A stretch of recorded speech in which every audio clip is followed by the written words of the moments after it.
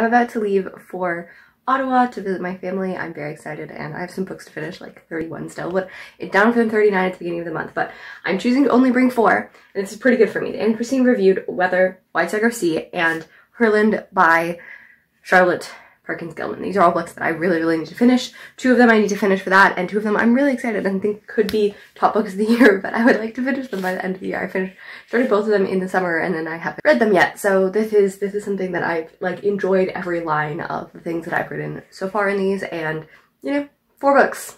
Four books, 10 days, and mostly talking to family. I'm sure I'll get them all done when you're chilling with your girl. I love her so much. And, and, and, and I have another one, which I got in 2008. I think both of them are actually my sister's, but my sister became a minimalist and doesn't actually like dolls anymore.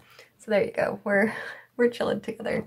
Like my mother collects spoons. A 1980s movie slash things.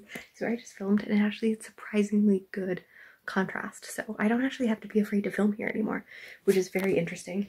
It is the room my sister grew up in. I have not done any reading. I have spent here a day. I just filmed Friday reads, which was really exciting. Those are my books that I have. Guys, guys, it's Spider-Man day. I am so psyched. I've been waiting for this for so long. I love Spider-Man so much. It is December 18th. It is like officially a day after, but we know it's two days. I've avoided most spoilers. I'm really excited to see Tom Holland. I'm really excited to see if there's anything else, but if there isn't, I'm, I'm okay. You probably know better than I do, but I'm so excited. The really sad thing is that I have been working on a video with Spider-Man since the last Spider-Man came out. I like loved it so much. It's probably my favorite video all. I'm reading through 60s comics and I'm making fun of them and just like going through and I love it and I've done that with lots of comics since, but I have so much pressure about this that I was like, okay, this is filming from like 2019 on it and all of this and I'm like, okay, now when I come home from this, when I'm no longer at my parents' house, I am going to be finishing this video and then we can talk about Spider-Man, how hilarious he is, and it's gonna be wonderful. I am so ridiculously happy. I have no words. Like, dang, that was so great.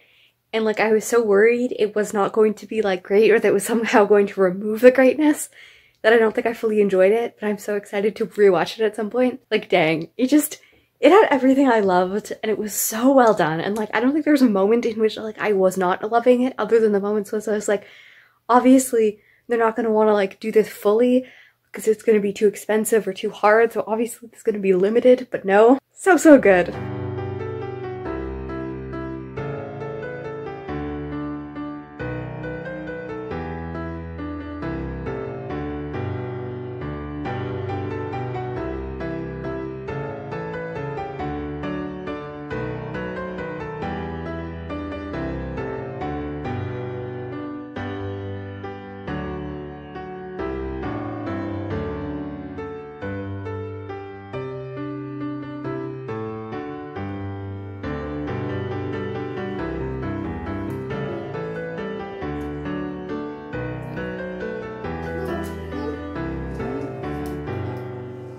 I don't always make great decisions when it comes to sleep, but I do always stay up till 3 a.m. to watch finales of the Marvel shows because they're so dang good. I am so excited for Hawkeye. I am writing assignments.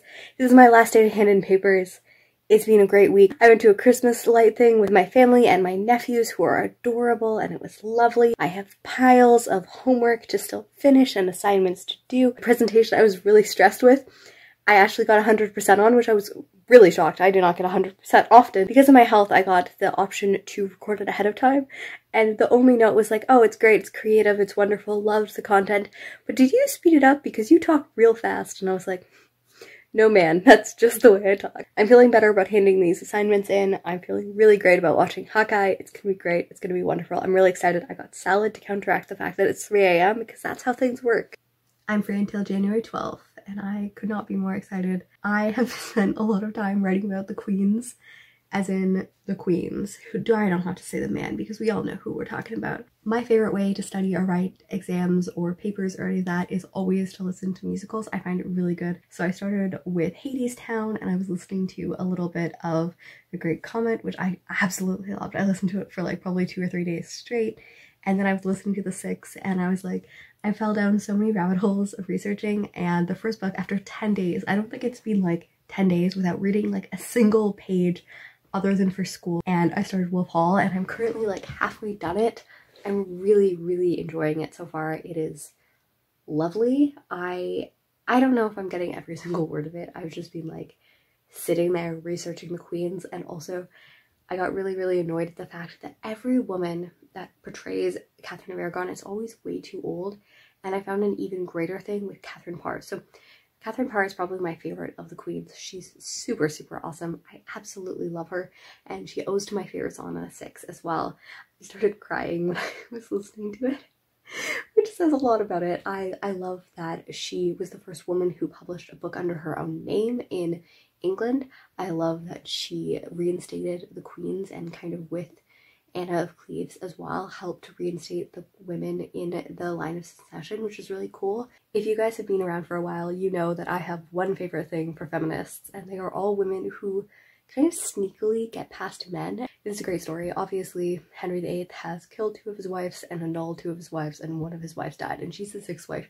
And he might even be going for a seventh, and she challenges him on religious matters and he puts out an warrant for her arrest and she finds it and she goes and prones herself before him and is like no sir i was not arguing because i thought you were wrong i was arguing so you could teach me sir like i just needed your wisdom and of course henry has a huge ego and loves the fact that parr is just telling him all of the things that he wants that he's so wise and teaching her and she's all docile and such and a man goes to arrest her the next day and henry's like no no no she's good. Not only is Parr the one who survives, she's literally the one who talks him out of it. He killed two of his wives and annulled another two and like wouldn't speak to them and she managed to like slip into his quarters and just like manage to, you know, use him and like a woman who is able to sneakily use people who don't even realize that their power has blinded them is just I love it so much. I love that she was married twice before and that she was married again, even though, you know, the guy ended up being real, real sketchy. And it, it bothers me that she is so often being just categorized as the nurse or as like this woman who is just like a docile helper to him in his old age and that's why she was the longest of his wives married to him after Catherine of Aragon. She also often gets portrayed in her like mid to late 40s so this started with Catherine of Aragon when I was like why is people always putting her like 20 to 30 years older than Anne Boleyn when they're only 15 years apart? And she's only five years older than Henry, and so often Henry is portrayed as much younger. I try not to be stickler in most things, but one of the things I am a stickler for is dates, and it drives me crazy when people have things that are really, really wrong. Because people want to tell a story about Catherine of Aragon by making her older, and they want to tell a story by making Catherine Parr older. Not that older women, obviously, should not be viewed as these sexless beings that have no femininity, but that is what they're trying to do by portraying her as older. And it just doesn't make sense that on average, Catherine Parr is the averagely most oldest represented, even though she was only 30 when she became queen and was only 34 when he died. She married again and had her only child after his death. She was around the same age as Anne Boleyn and Jane Seymour around the times that they were his wives. I just realized I've been ranting about her for literally forever, but I have many, many feelings about Catherine Parr, and maybe there'll be a video in the future because I have thoughts. But if you aren't familiar with Wolf Hall, it is the story of Thomas Cromwell, and he is a man who is navigating himself into the mess that is currently the triangle between Anne Boleyn, Catherine of Aragon, and Henry, and the divorce and the beating of the Church of England, and all of that. And it's super, super interesting. I'm enjoying it quite a lot. I definitely am not getting everything. It is a very dense book with a lot of history. And I heard someone writing, like, I was smart and went into this book after reading a biography, which I probably should have done. The humor is definitely there, and I am enjoying it, and I'm interested in seeing the miniseries and finishing the series sometime in the future because I think that it's a series I will enjoy. Also one that I will reread at some point and probably get a lot more because I'm definitely not getting everything from this. I have now done what no Kier has done before. I have read a book, a passage, a part from each of the authors that I chose for 2021. It was amazing. I read some poetry from this. I'm really enjoying it, especially the first one, which is So Many Girls, which I'm not really sure quite yet if she's going through kind of these desolate views in the way that women interact with the world and girls interact with the world, and these common stories that are both highly unique and also universal, or if she's telling one story. I really have to go through it. I'm quite tired at the time. I have my tea, I'm enjoying it. I am going to bed. It's like 8 p.m. and I am exhausted. But I have to finish a book by One of the Greens. I am almost done Nancy Racine reviewed and I am a good chunk into You Are the Artist, so hopefully I will finish those before the year and I am actually really tempted because this is one of the, my favorite books. I have a copy of this. My friend Anna gave me this for my birthday because I requested it because I wanted a version of Herland, which is the story that I'm hoping to want, but I read some of her poetry and short stories here as well.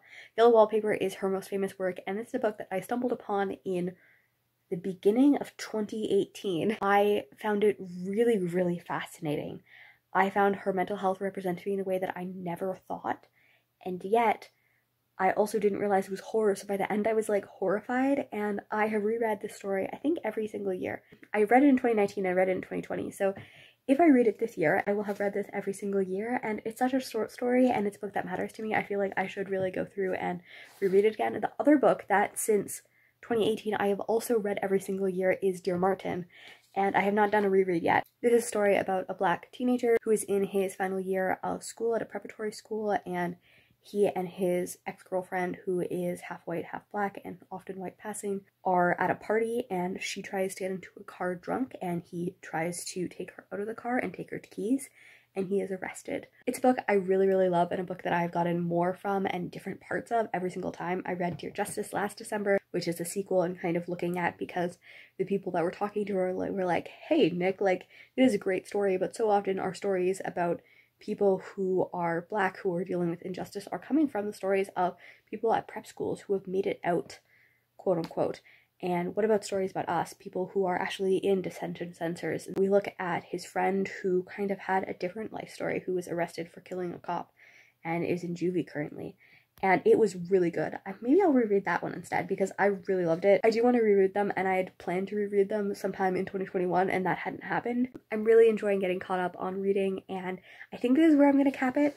I might have another small check-in, but this is Christmas Eve, Christmas Eve. If you have a Merry Christmas, tell me what books you reread for the season, which books you read over Christmas. I don't do a lot of Christmas reading, but I enjoy reading some of the books that I, I tend to be a slow reader and read many books throughout the years, and this is a time of year when I try to finish the physical books on my shelves, and it is lovely because many of these are books are books that I love and I take a lot of care with, so they're very slow, but I love so much. So, Merry Christmas and Happy New Year! I will see you before that.